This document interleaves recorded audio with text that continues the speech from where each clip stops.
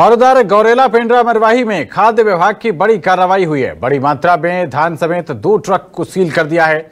बिना आदेश खुली जगह में 7,800 बोरी धान रखा गया था।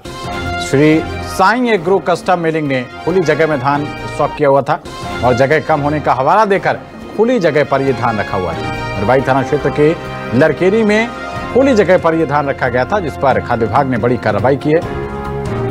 तो बड़ी मात्रा में धान समेत दो ट्रक को सील कर दिया है। खाद्य विभाग की ओर से ये बड़ी कार्रवाई। तस्वीरें आपकी स्क्रीन पर है?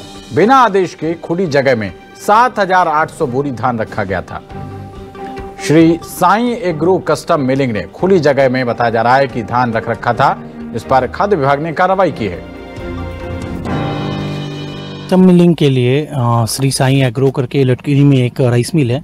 उनके द्वारा राइस मिल में बताया गया कि उनके द्वारा जगह कम होने के कारण उन्होंने एक अतिरिक्त जगह पर बिना परमिशन के धान को इकट्ठा किया हुआ है, जो कि नियम विरुद्ध है। नियम विरुद्ध होने के कारण आज सीलिंग की कार्रवाई की गई इसमें लगभग अठहत्तर सौ बोरा धान है और दो गाड़ियाँ हैं। सीलिंग के उपरांत अग्रिम कार्रवाई के लिए जिला कार्यालय को प्रेषित किया जाएगा। अब जैसी भी कार्रवाई होगी, जिला कार्यालय से की जाएगी। तो खबर पर जानकारी के साथ हमारे संवाददाता गौरव जुड़ रहे हैं। गौरव खाद्य विभाग की बड़ी कार्रवाई बिना किसी परमिशन के यहाँ पर बड़ी संख्या में धान स्टॉक किया गया था। क्या कुछ जानकारी और निकलकर सामने आ रही है?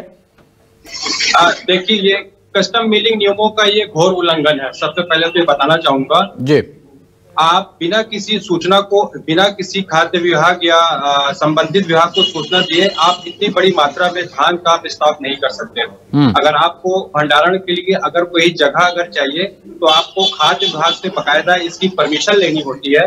बकायदा इस संदर्भ में आपको उनको एक लेटर जारी करना होता है।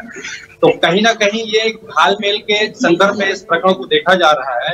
अब इस पर चूँकि कार्रवाई हो गई है खाद्य विभाग और राजस्व विभाग ने ये कार्रवाई की है और लगभग अठहत्तर सौ बोरियाँ और दो ट्रक इस पर जो है जब्त किए हुए हैं और आगे की कार्रवाई के लिए उन्होंने बढ़ा दिया है लेकिन कस्टम मिलिंग और ये जिस जो ये कस्टम मिलिंग जो ये कर रहे थे जो साई एग्रो के नाम से रजिस्टर्ड है हम्म। इनका कहना ये था कि हमने जगह की कमी के कारण जो है हम्म। भंडारण कर लिया लेकिन ये नियमों का घोर उल्लंघन है ऐसा नहीं होना चाहिए चलिए बहुत शुक्रिया गौरव आपका इस अहम जानकारी के लिए